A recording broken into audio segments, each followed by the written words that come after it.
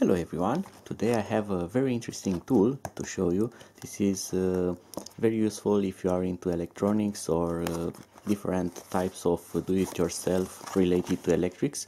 This is not only a multimeter or a voltage tester, this is actually a two-in-one device and this is an oscilloscope in a very small format and it's very smart.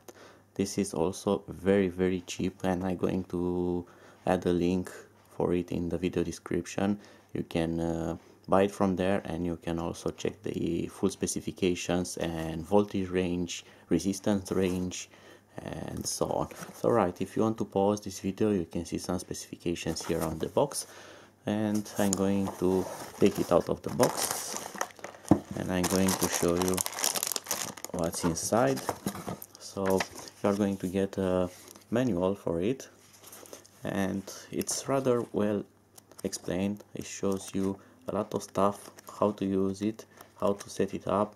And this thing is really smart because it's um, not full range but it has an automatic range so it makes easy to be used. It makes things a lot more easier than uh, regular devices because you don't have to set a range for the measurement. It's auto range so you just select what you want to measure such as volts on DC current or AC current and that's it. And that is not like on this older model. For instance here you have select to select the range for the resistance from 200 ohms to up to 200 uh, mega ohms. So you need to have proper range to get a reading, a correct reading. Well, this thing only selects the measurement that you want to take, such as resistance, and it will scan and measure the exact resistance and it will display it on the screen. Very easy to use and actually this is easier to use for beginners but some advanced users prefer this old type. I like both of them. This makes it easier for me to work so let's get further with this. It comes with two probes.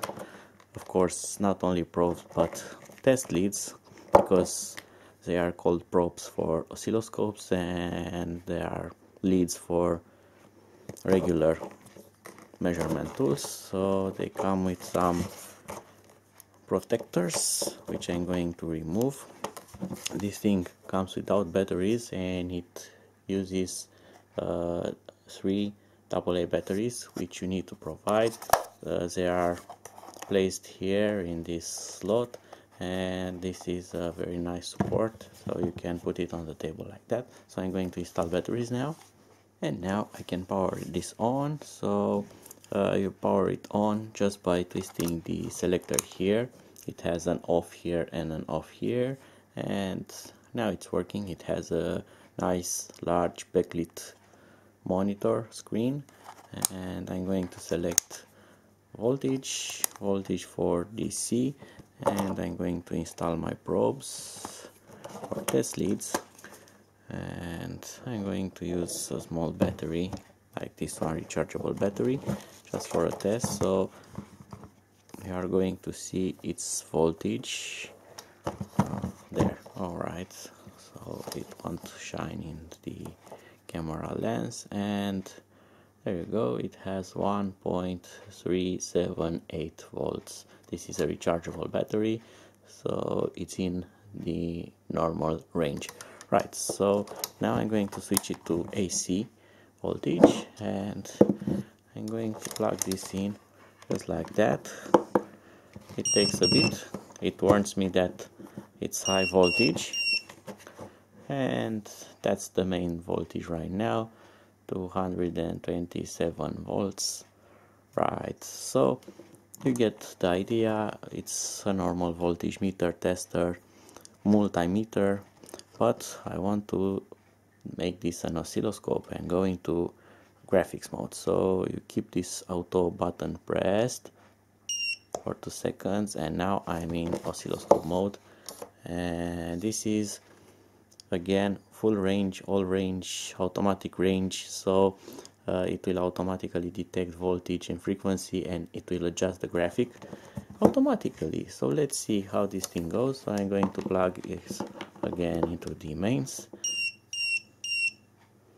And there you go. It shows volt uh, frequency 49 hertz and voltage 227 and with these two buttons I can adjust the scale if I want to. And there we go. And also you have this hold function which will hold the graphic. And it saves it into a memory slot. It has uh, something like 20 memories or something like that. And you can delete them you can uh, create a new one. So very very smart and actually very cheap for having an oscilloscope in your toolbox. I find this priceless. So until my next video see you and bye bye